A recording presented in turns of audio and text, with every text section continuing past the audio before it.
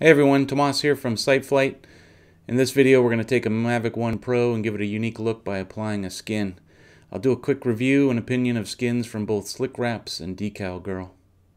Slickwraps is the brand of skin I'm going to be applying today. On their website you can find skins for the full range of DJI drones including the newly released Mavic 2. Here you can see all the different series of skins that they offer. I prefer carbon or camo skins. They've got quite a few to choose from, from traditional camo prints to the newer digital style.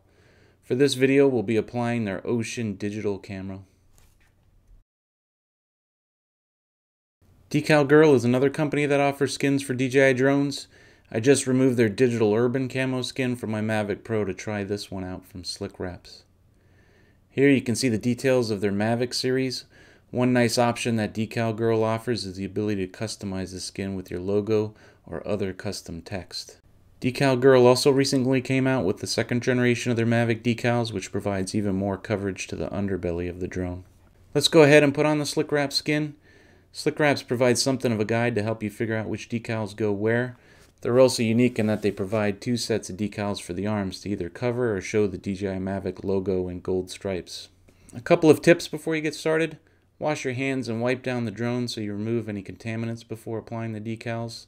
Also have a hair dryer handy at the end to heat up the decals for the final rub down to ensure none of the edges or curved areas bubble up. After having put both Slickwrap skin and DecalGirl skin on the Mavic, I can definitely say that I like the DecalGirl skin better. The decals feel thicker and have more of a matte finish versus Slickwraps which are thinner and glossier.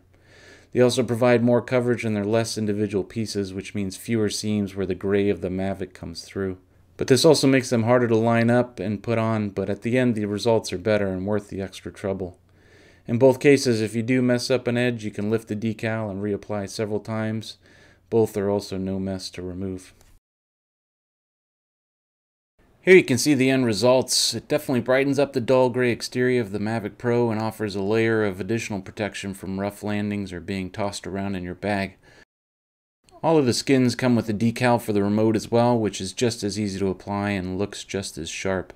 With so many different color and pattern options, it's your choice if you want to make the Mavic more visible or stealth when flying.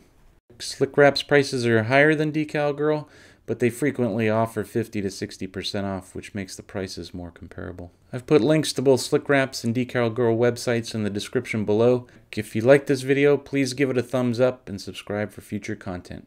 Thanks.